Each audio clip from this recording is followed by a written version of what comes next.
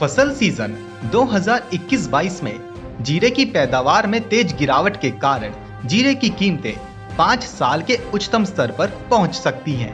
भारत का जीरे का प्रोडक्शन 35 फ़ीसदी तक घट सकता है। इससे जीरे की कीमतों में 30 से 35 फ़ीसदी का उछाल आ सकता है। जीरे का क्रॉप सीज़न नवंबर से शुरू होता है और मई तक चलता है। काली मिर्च के बाद जीरा दुनिया भर में दूसरा सबसे ज़्यादा पॉपुलर मसाला है।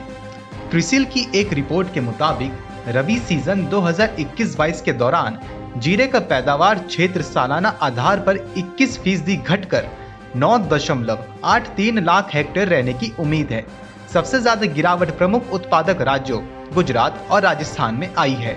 रिपोर्ट में कहा गया है कि प्रतिकूल मौसम के कारण ईल्ड पर असर पड़ा है। गुजरात में पैदावार सालाना आधार पर 20 फ़ीसदी और राजस्थान में 15 फ़ीसदी घटी है।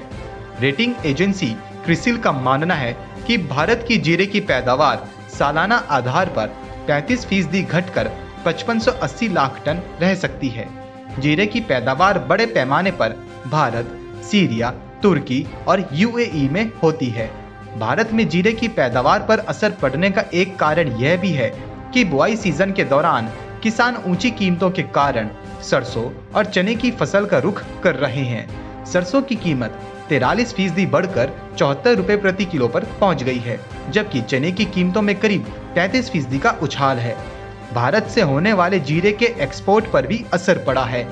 फाइनेंशियल ईयर 2022 में इसमें सालाना आधार पर 24 फ़ीसदी की गिरावट आई है। Report, market times, TV.